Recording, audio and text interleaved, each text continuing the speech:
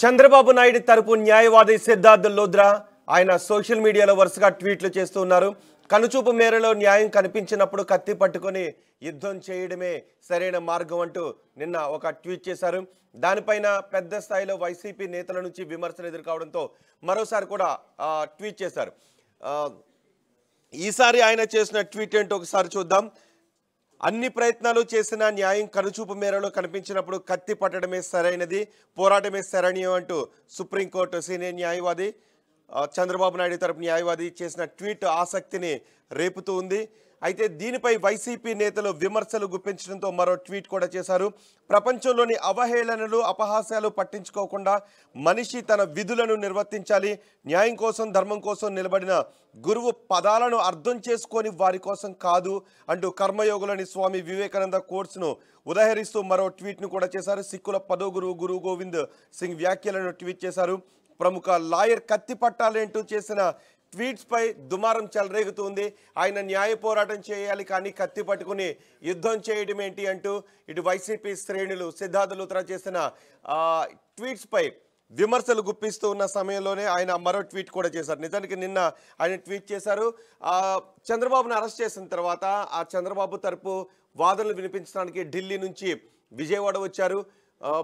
ACB కోర్టులో ఆయన వాదనలు వినిపించారు. అలాగే హైకోర్టులో కూడా పిటిషన్ మూవ్ చేశారు. క్వాష్ పిటిషన్ ఇవన్నీ కూడా ప్రస్తుతం పెండింగ్లో ఉన్నాయి. క్వాష్ పిటిషన్ మంగళవారానికి వాయిదా పడింది. మరోవైపు మిగిలిన కేసుల్లో కూడా కొన్ని ఇతర కేసుల్లో కూడా చంద్రబాబుకు అరెస్ట్ చేయడానికి ప్రయత్నాలు జరుగుతున్నటువంటి నేపథ్యంలో వాటిలో కూడా ముందస్తు బెయిల్ పిటిషన్స్ కూడా మూవ్ చేశారు. ఓ పక్క న్యాయ పోరాటం కొనసాగుతూ ఉన్న సమయంలోనే సిద్ధార్థ్ లోత్రా చేసిన ట్వీట్పై ఆసక్తికరమైన చర్చ జరుగుతుంది. మొదటి ట్వీట్ ఆయన చేసింది ఏంటి అంటే అన్ని ప్రయత్నాలు చేస్తున్న న్యాయం కనుచూపు మేరలో కనిపించినప్పుడు కత్తి పట్టడమే సరైనది పోరాటమే శరణీయం అంటూ ఆయన ట్వీట్ చేశారు. కత్తి పట్టడం ఏంటి పోరాటం ఏంటి న్యాయం ఎందుకు కనిపించట్లేదు?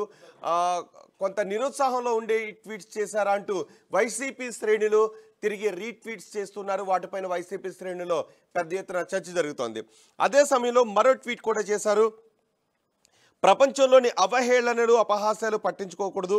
వాటిని పట్టించుకోకుండా మనిషి తన విధులను నిర్వర్తించాలి. న్యాయం కోసం ధర్మం కోసం నిలబడిన గురువు పదాలను అర్థం చేసుకోని వారి కోసం కాదు అంటూ ఆయన మరో ట్వీట్ చేశారు.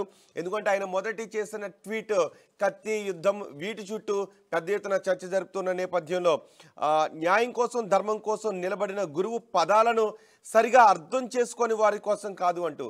అంటే ఆయన మొదటి చేసిన ట్వీట్ సిక్కుల పదోగురు గురు గోవింద్ సింగ్ మొఘల్ చక్రవర్తి ఔరంగజేబుకు రాసిన జఫర్నామాలోని సూక్తి ఇది. అన్ని ప్రయత్నాలు చేసిన న్యాయం కనుచూపు మేరలో కనిపించినప్పుడు కత్తి పట్టడమే సరైనది పోరాటమే శరణ్యం అంటూ ఆయన చేసిన ట్వీట్పై ఆసక్తికరమైన చర్చ జరుగుతుంది. సిక్కుల పదో గురువు గురు గోవింద్ సింగ్ మొఘల్ చక్రవర్తి ఔ- ఔరంగజేబుకు రాసిన జఫర్నామాలోని సూక్తి ఇది. దాన్ని in the service of Guru Guru Govindji పేరుతో నిర్వహిస్తున్న ట్విట్టర్ ఖాతాలో ఈరోజు సూక్తి అంటూ నిన్న రీట్వీట్ చేశారు. దీనిపై పెద్ద దుమారమే చెలరేగింది. చంద్రబాబు కేసు పరిణామాలు రాష్ట్రంలో టీడీపీ శ్రేణుల ఆందోళనల నేపథ్యంలో ఓ ప్రముఖ లాయర్ ఇలా ట్వీట్ చేయడం సరికాదు అంటూ విమర్శలు వ్యక్తమయ్యాయి.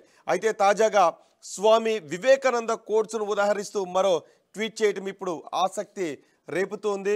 ప్రపంచంలోని అవహేళనలు అపహాసాలు పట్టించుకోకుండా మనిషి తన విధులను నిర్వర్తించాలి న్యాయం కోసం ధర్మం కోసం నిలబడిన గురువు పదాలను అర్థం చేసుకునే వారి కోసం కాదు. అంటే ఆయన చేసిన ట్వీట్లోని ఆ ట్వీట్స్ రెండు కూడా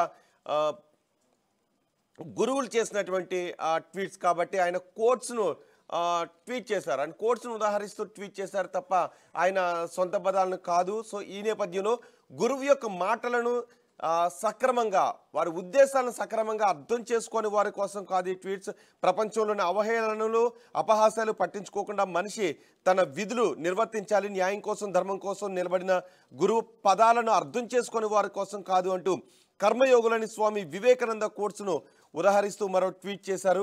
సిక్కుల పదో గురు గురు గోవింద్ సింగ్ వ్యాఖ్యలను ట్వీట్ చేశారు. ఫస్ట్ తర్వాత కర్మయోగులోని వివేకానంద కోర్సును ఉదహరిస్తూ ఆయన ట్వీట్ చేశారు.